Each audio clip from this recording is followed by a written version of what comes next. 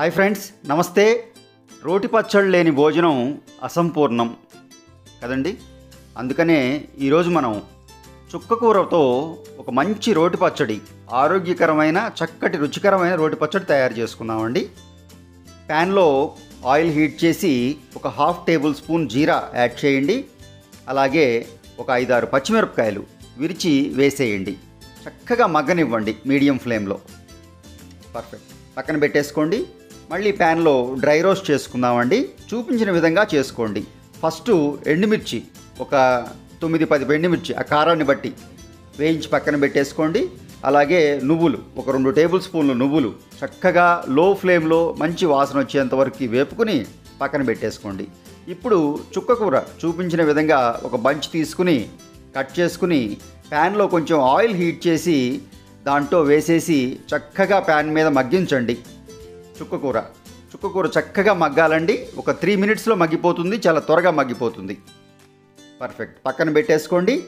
ఇప్పుడు మనం పచ్చడి రుబ్బుకోవటం స్టార్ట్ చేద్దామండి. ఫస్ట్ నువ్వులు ఎండుమిర్చి కొంచెం సాల్ట్ వేసుకుని రుబ్బుకుందామండి. ఎందుకంటే ఎండుమిర్చి నువ్వులు త్వరగా నలగవండి. వేరే వాటితో కలిసి నలగవు. సో ఫస్ట్ ఇవి సపరేట్గా మనం రుబ్బేసుకుని ఆ తర్వాత మిగిలిన ప్రాసెస్ స్టార్ట్ చేద్దాం. అలాగే ఒక నాలుగైదు వెల్లుల్లి రెబ్బలు వేసేసి దంచేయండి. ఇప్పుడు మనం మగ్గించి పెట్టుకున్న పచ్చిమిరపకాయలు జీలకర్ర ఉన్నాయి కదండి. అవి యాడ్ చేసేసి మళ్ళీ ఒక్కసారి అవి దంచేయండి. పర్ఫెక్ట్. ఇప్పుడు మనం చక్కగా ఇలా కచ్చా పచ్చాగా రుబ్బుకోండి. పచ్చడి బాగుంటుంది. ఇప్పుడు మనం మగ్గించుకు పెట్టుకున్న చుక్కకూర చక్కగా మగ్గిపోయిందండి. చల్లార్చాము.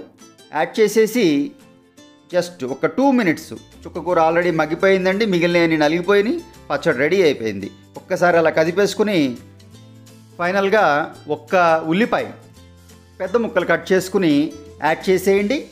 పచ్చళ్ళలో కలిసేలాగా ఒక్కసారి అలా చూపించిన విధంగా దంచేయండి ఉల్లిపాయని పేస్ట్ చేయకండి అవి ముక్కలు ముక్కలుగా తగిలితేనే టేస్ట్ అండి. పర్ఫెక్ట్. రెడీ అయిపోయిందండి సర్వ్ చేసేసుకోండి. డన్. ఫైనల్గా టేస్ట్ని ఎన్హాన్స్ చేయడానికి డబల్ చేయడానికి కొంచెం తాలింపు పెట్టుకుందామండి. చాలా టేస్టీగా ఉంటుంది. తాలింపు పెట్టుకోండి. ప్యాన్లో ఆయిల్ హీట్ చేసి కొంచెం ఆవాలు కొంచెం జీలకర్ర అలాగే కొంచెం మినప్పప్పు. చక్కగా వేపండి. మినప్పప్పు ఇవి చక్కగా వేగాలండి.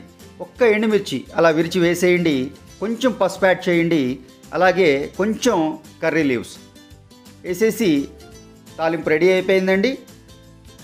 యాడ్ చేసేయండి పచ్చళ్ళలో దీంతో ఆ పచ్చివాసన అది రాకుండా మీకు చాలా టేస్టీగా ఉంటుందండి. వేడివేడి అన్నంలో కొంచెం నెయ్యి వేసుకుని ఈ పచ్చడితో ఎంజాయ్ చేయొచ్చండి.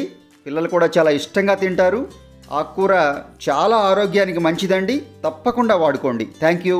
ఫ్రెండ్స్ వీడియో నచ్చితే లైక్ చేయండి సబ్స్క్రైబ్ చేయండి. ఇంకా మీ ఫ్రెండ్స్తో షేర్ చేసుకోండి. Thank you.